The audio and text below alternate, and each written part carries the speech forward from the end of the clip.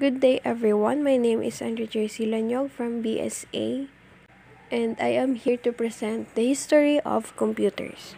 Before we proceed to the history of computers, let us first define what is computer.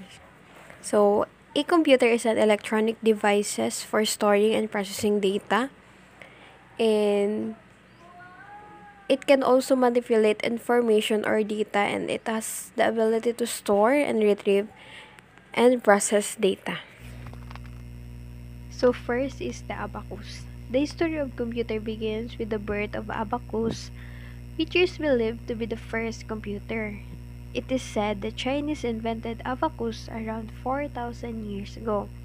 In abacus, it has a wooden rack with metal rods with beans mounted on them. The beans were moved by the abacus operator according to some rules to perform arithmetic calculation. So, in some countries like China, Russia, and Japan, they are still using abacus. So next is the Napier bones. It was a manually operated calculating device which was invented by John Napier or Merchiston. In this calculating tool, he used nine different ivory strips or bones marked with numbers to multiply and divide. So the tool became known as Napier's bones. It was also the first machine to use the decimal point. Next is the Pascaline. Pascaline is also known as arithmetic machine or adding machine. It was invented between 1642 and 1644 by a French mathematician philosopher Blaise Pascal.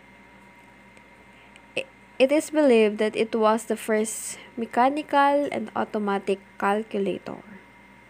So, Pascal invented this machine to help his father, a tax accountant. It could only perform addition and subtraction. It was a wooden box with a series of gears and wheels. When a wheel is rotated one revolution, it rotates the neighboring wheel. A series of windows is given on the top of the wheel to read the totals. The next one is the stepped reckoner or Leibniz wheel. It was developed by a German mathematician philosopher, Gottfried Wilhelm Leibniz, in 1673. He improved Pascal's invention to develop this machine. It was a digital mechanical calculator which was called a stepped reckoner as instead of gears it was made of lutted drums. The next one is the difference engine. In the early 1820s, it was designed by Charles Babbage who is known as the father of modern computer. It was a mechanical computer which could perform simple calculation.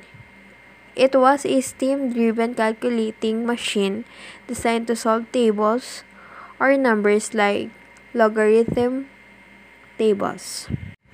The next one is analytical engine. It is also a calculating machine and also developed by Charles Babbage in 1830. It was a mechanical computer that used punch card as input.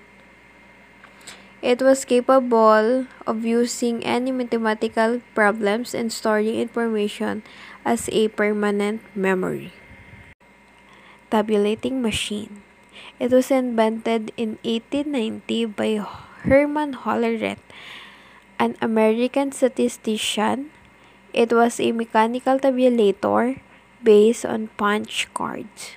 It could tabulate statistics and record or sort data or information. This machine was used in the 1890 U.S. Census. Hollerith also started the Hollerith tabulating machine company which later became International Business Machine or IBM in 1924.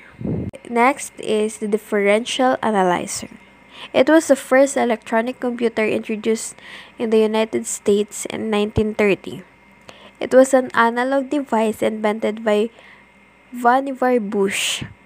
This machine was vacuum tube to switch electrical signals to perform calculations. It could do 25 calculations in few minutes. Mark 1 The next major changes in the history of computer began in 1937 when Howard Aiken planned to develop a machine that could perform calculation involving large numbers. In 1944, Mark I computer was built as a partnership between IBM and Harvard. It was the first programmable digital computer.